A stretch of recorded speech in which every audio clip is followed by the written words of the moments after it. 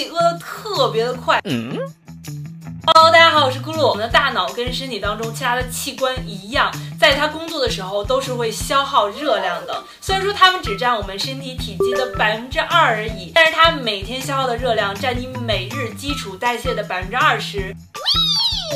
换句话说，对于一个每天基础代谢大概一千三百大卡的女生来说，你每天大脑消耗的热量就差不多有二百六十大卡，差不多等于你跑步慢跑半个小时消耗的热量。这个时候肯定会有小伙伴问，是不是我可以靠我的大脑就让自己瘦下来呢？我们的大脑在处理更艰难的信息或者是学习一项新的技能的时候，确实是会比你平时消耗更多的热量，但是这个多消耗的热量并没有那么的多。举个例子，如果说你这一天七到八个小时都在学习一个新的乐器的话，你可能也只会多消耗一百到两百大卡，仅此而已。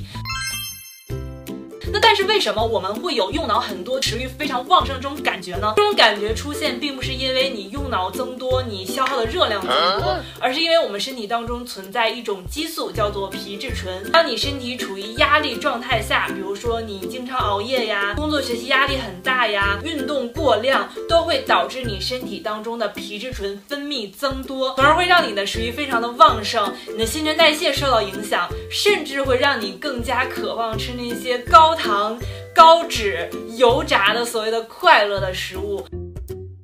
第一就是保证足够的睡眠，第二就是适当去运动，第三个呢就是保持一个良好均衡的饮食，比如说像黑巧啊、酸奶呀、香蕉啊、梨子啊、绿茶呀，这些都可以帮助你的身体去更好的应对皮质醇。不过是绿茶啊，不是奶茶。